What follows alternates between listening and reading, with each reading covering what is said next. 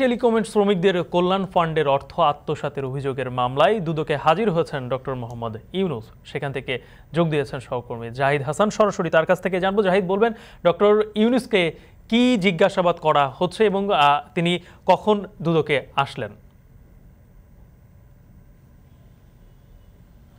গ্রামীণ টেলিকমের শ্রমিকদের কল্যাণ ফান্ডের পঁচিশ কোটি বাইশ লাখ ছয় হাজার টাকা আত্মসাতের অভিযোগে দুদক যে মামলা করেছিল চলতি বছরের তিরিশে মে, সেই মামলায় ডক্টর মোহাম্মদ ইনুস সহ তেরো জনকে আসামি করা হয়েছে। তারই ধারাবাহিকতায় ডক্টর ইনুসকে ডাকা হয়েছে। ডক্টর ইনুসের আগে গতকালকে চারজন আসামি তারা এখানে এসে জিজ্ঞাসাবাদে তাদের তথ্য দিয়ে গেছেন। আজকে ডক্টর ইনুস এসে হাজির হয়েছেন এবং সকাল নয়টা চল্লিশ মিনিটে দুর্নীতি কমিশনের যেই সেগুনবাগিচার প্রধান কার্যালয়ে হাজির হয়েছেন নোবেল বিজয় অর্থনীতিবিদ ডক্টর ইনুস এবং তার সাথে আরও দুজন রয়েছে অর্থাৎ আজকেও তিনজন, ডক্টর ইনুস সহ তিনজন আসামিকে জিজ্ঞাসাবাদ করা হবে এই মামলায় এবং নয়টা চল্লিশে তিনি দুদকের কার্যালয়ে প্রবেশের পর দশ মিনিট পরে তাকে দুদকের যে উপপরিচালক গুলশান আনোয়ার প্রধান তাকে তার যে তদন্ত কর্মকর্তা, তার জিজ্ঞাসাবাদ করার কথা রয়েছে, তার কক্ষে তাকে নিয়ে যাওয়া হয়েছে।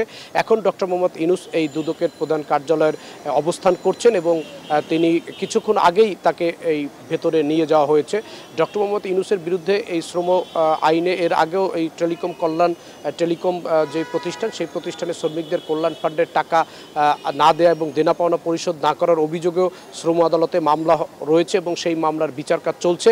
তারই ধারাবাহিকতা, তার বিরুদ্ধে দুদক একটি মামলা করেছে সেটি হচ্ছে অর্থ পাচার এবং অর্থ আত্মসাত। অর্থাৎ টেলিকম, গ্রামীণ টেলিকম যে প্রতিষ্ঠানটি ছিল, সেই প্রতিষ্ঠানের প্রতিষ্ঠাতা এবং মালিক ছিলেন ডক্টর মোহাম্মদ ইনুস সেই প্রতিষ্ঠানের যেই শ্রমিক এবং কর্মচারীদের যে কল্যাণ ফান্ড, কল্যাণ তহবিল গঠন করা হয়েছিল, সেই তহবিলের পঁচিশ কোটি বাইশ লাখ ছয় হাজার টাকা আত্মসাৎ করেছেন ডক্টর মোহাম্মদ ইনুস এবং তার সহযোগীর, অর্থাৎ গ্রামীণ টেলিকমের যারা পরিচালক ছিলেন তারা, সেই অভিযোগে এই মামলাটি দুদক করে এবং এই মামলার অধিকতর তদন্তের জন্য, অধিকতর তথ্যের জন্যই তাকে ডাকা হয়েছে, যেটি দুদকের সচিব সচিব গতকালকে আমাদেরকে জানিয়েছেন যে যে কোনো মামলার অনুসন্ধান, তদন্ত এবং প্রতিবেদন দেওয়ার আগে তারা অধিকতর তদন্তের জন্য যে কাউকে তারা তলব করে থাকেন এবং তারা যেটি বলছেন, দুদকের পক্ষ থেকে যে আইন মেনেই ডক্টর মোহাম্মদ ইনুসকে দুদকে তলব করা হয়েছে এবং আইনের প্রতি শ্রদ্ধাশীল থেকেই ডক্টর মোহাম্মদ ইনুস এই দুদকে এসেছেন। এটি ডক্টর মোহাম্মদ ইনুসের আইনজীবী সকালে আমাদেরকে জানিয়েছেন যে দুদকের প্রতি, দুদকের যে তলব এবং দুদক যে তাকে ডেকেছে, এর প্রতি সম্মান জানিয়ে ডক্টর ইনুস